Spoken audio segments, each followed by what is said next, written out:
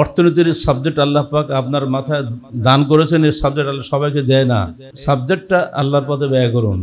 অনুরোধ করব তিরাশি বছরের বৃদ্ধ বয়সের বেশি দিন দুনিয়ায় বাঁচবেন না।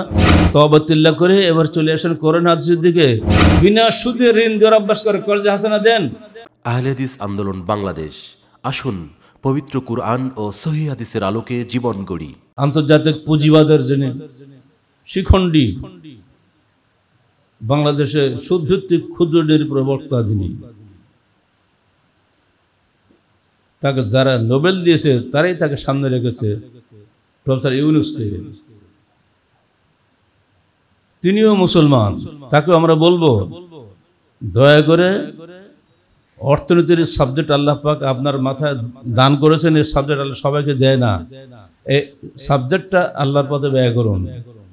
সুদী অর্থনীতি কশ্চিনকালে দুনিয়াতে শান্তি আনে নাই। ইসলাম আসার বহু পূর্বে প্লেটো এসছেন।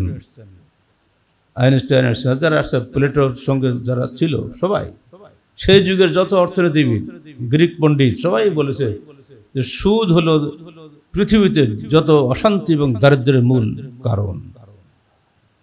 এটা প্রশ্ন ইউনিস নিশ্চয় উনি নিজেও জানেন। তাকে অনুরোধ করব, তিরাশি বছরের বৃদ্ধ বয়সের বেশি দিন দুনিয়া বাঁচবেন না। তবাতিল্লা করে এবার চলে আসেন করেন হাদিসের দিকে, সুদ হারাম। বাংলার জমিনে সুদ ভিত্তিক কোনো অর্থনীতি থাকবে না। যদি এদিকে ফিরে আসতে পারেন, তাহলে আপনার শেষ জীবনটা সার্থক হবে। আমাল উল খাওয়াতিম।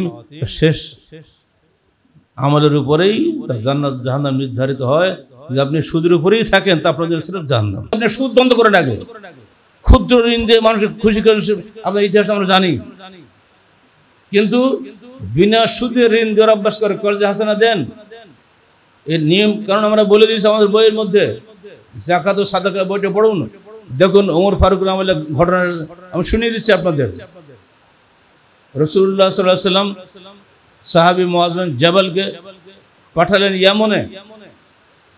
পাঠাল সাহেব বলেন মোয়াজ আমি তোমাকে এমন একটি দেশে পাঠাচ্ছি, যেখানকার লোকেরা সব অমুসলিম।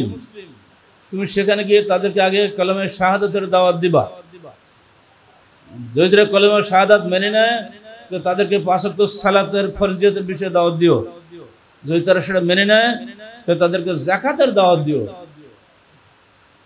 তখন তুমি তবু খাজুন আগ্নিয়াহিম তোরাত দিলে ফকরাহিম সে দেশের ধনীদের কাছ থেকে তুমি জাকাত নেবা আর সে দেশের গরিবদের মধ্যে ওটা বিতরণ করে দেবা। এরপরে যখন মোয়াজকে বিদায় দিচ্ছেন, আল্লাহ রসুল নিজে পায়ে হেঁটে আর মোয়াজ আছে, ঘোড়ার উপরে বসে, মোয়াজ, যাও, তুমি যখন ফিরবে, আমাকে আর পাবে না। টান করে বলছে, আল্লাহ, ইত্তাকিল্লাহ, আল্লাহ। মোয়াজ যেন আল্লাহকে ভয় করে, মোয়াজ শুনছে, শুনতে চলে গেলেন। উনি এলেন আর আল্লাহ রসুলকে পান নাই এরপরে আবুবকর যখন আসলো মাত্র আড়াই বছর আবুবকর পর ওমর খেলাফতে আসলেন এইবারে ওই এমন থেকে সারা জাকাত হকদার সবাইকে দিয়ে অনেক রাজস্ব বেঁচে গেল তা এক তিন ভাগের এক ভাগ রাজস্ব সব মদিনার রাজধানীতে ফেরত পাঠিয়ে দিলেন। ওমর এমন ধমক দিলেন, তোমাকে পাঠিয়েছি কি আমি খাজনা আদায় করার জন্য? তুমি আদায় করবে ওখানে বিতরণ করবে।